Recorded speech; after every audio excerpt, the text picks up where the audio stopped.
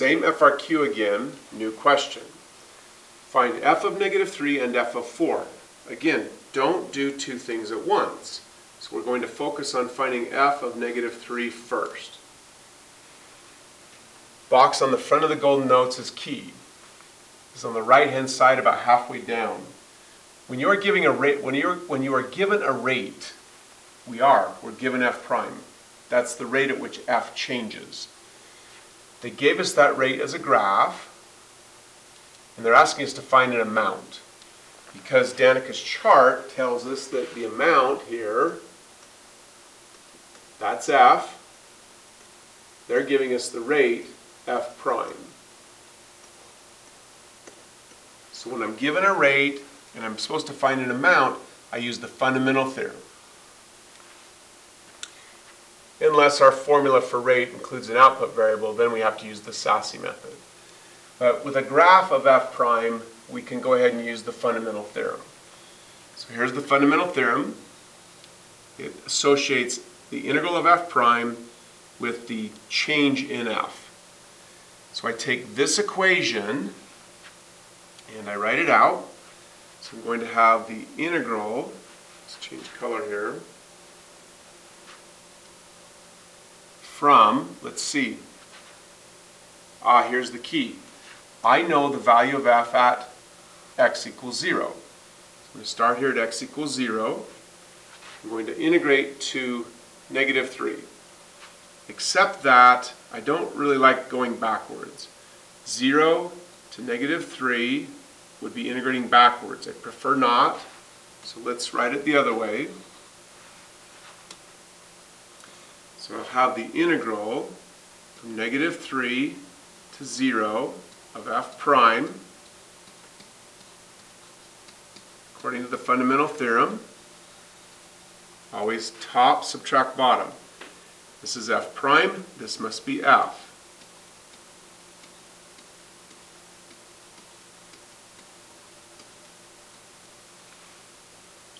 Rearranging to solve for this means I'm going to add this to both sides. So that will give me, so we're kind of running out of space here. Let's make a copy of the, well, I think we can fit it in. So we're going to add this to this side. That means we're going to subtract the integral to that side. So we're going to get the equation that's right here. f of 3, negative 3, because we this was negative, we added it over, it became positive. That will equal this. This got subtracted to the other side. So we get this equation. This is my equation for finding f of negative 3. I already know f of 0 is 3 because they told me I need to find the value of this integral. One way to find the value of an integral is by calculating the appropriate area. I'm going to go from x equal negative 3 to x equals 0.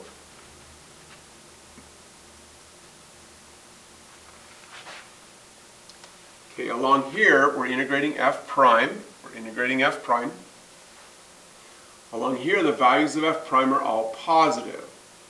Therefore, as this area is integrated, this area will be counted positively because these values of f prime are positive. This area is 1 by 1. 1 times 1 is 1. Half of that is a half. So that area is a half, and in terms of finding the value of the integral, that gets counted as a positive value. Here's the minus, here's the minus. f of 0 is 3, here's f of 0. So 3 minus, I need a parenthesis because I've got two terms here. The 1 half is positive because this area was positive. Then over here, now all of these y coordinates of f prime are negative. Hence, the integral counts all of this value as negative. The area would be 2 multiplied by 2, which is 4, divided by 2 is an area of 2.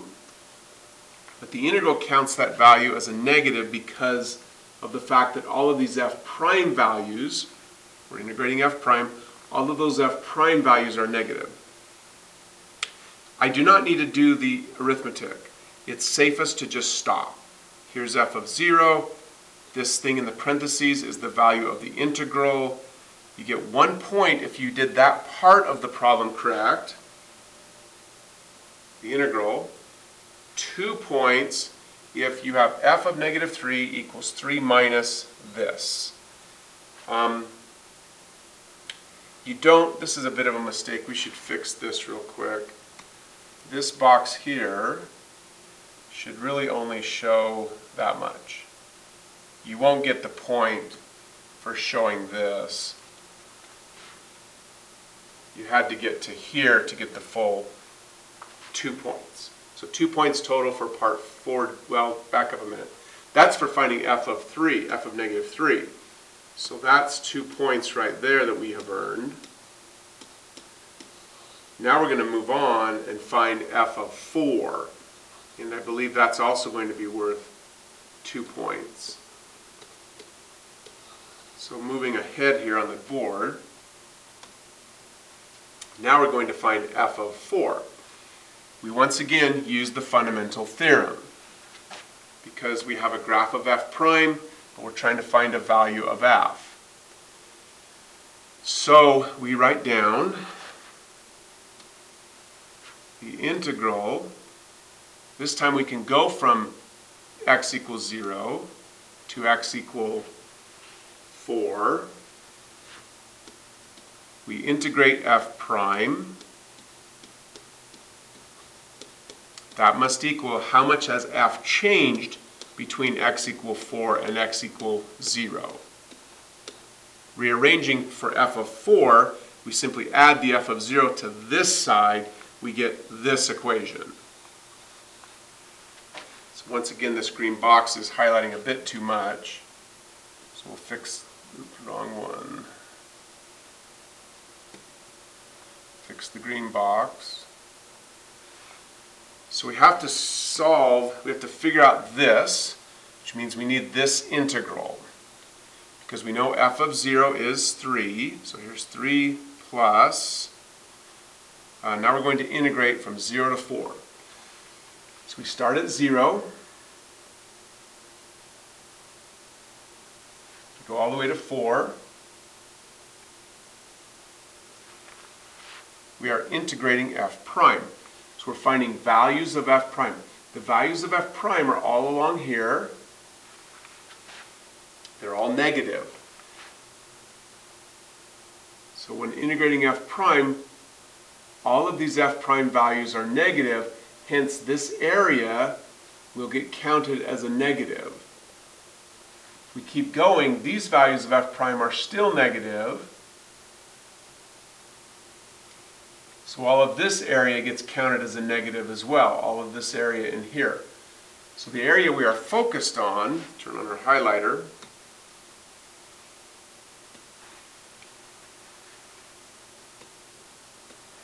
so we're focused on the area here.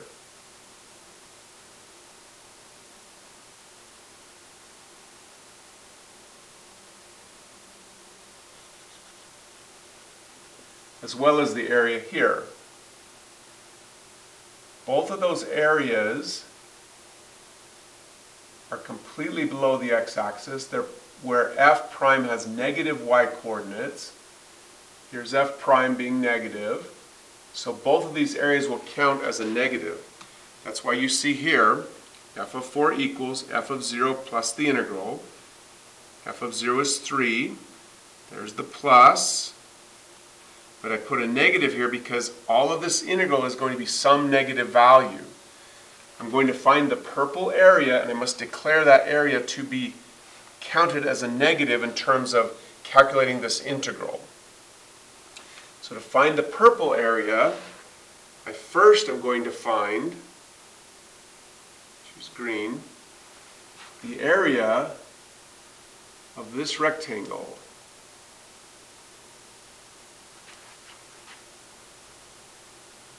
When they ask you to compute an integral by finding areas geometrically, they will give you shapes that are either rectangles, triangles, or semicircles or circles. I've never seen them give you anything else. So the area of the green is 2 by 4, that's 8. So the area of the green rectangle is 8.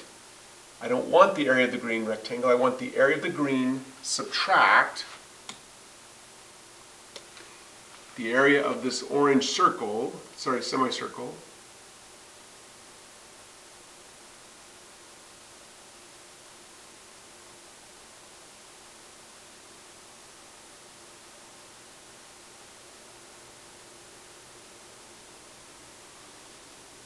I'm going to calculate the area of the green rectangle, which was 8, and then I calculate the area of this orange semicircle. I remember the area of a semicircle is pi over 8 diameter squared. So that's what I've written on, written down here. For some reason I feel compelled to fill in the shape. So the area of this semicircle is, the diameter of the semicircle is 4. Pi over 8, diameter squared. Be very careful with your parentheses. These two parentheses are necessary to indicate that this is the value of the integral. Only the 4 is being squared. You don't have to work anything out. This entire integral's value will be considered to be negative because this purple area is definitely below the x-axis. So this would give you two more points if you have all of this right here. If you somehow found this area correctly, but didn't include the three, they would give you one of the two points.